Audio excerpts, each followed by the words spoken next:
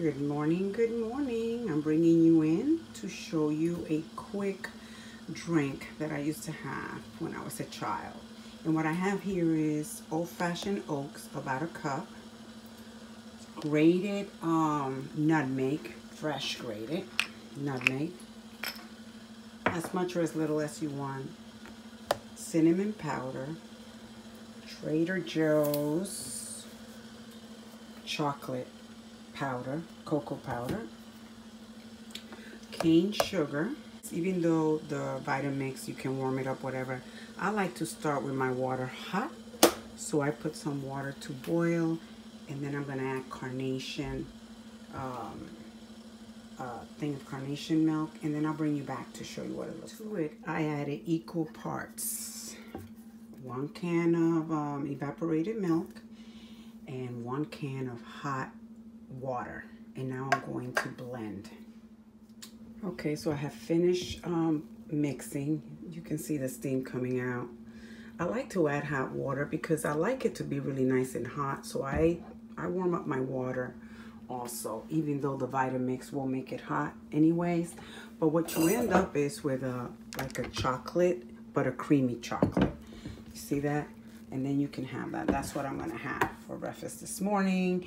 Um, back home, mom used to make this for us because I did not like oatmeal. So she would make it like this, or she would make the oatmeal itself like you normally would, but she'd add chocolate to it because she knew we would eat it because we didn't like the just a plain oat. You can also have this drink cold. You can put it in the fridge and have it cold. Delicious. Look at that.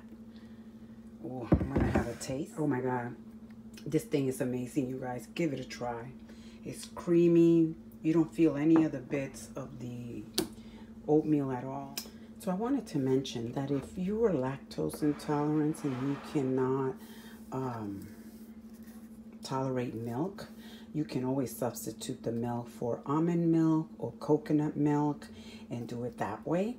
Um, it's also good for children that are lactose intolerant.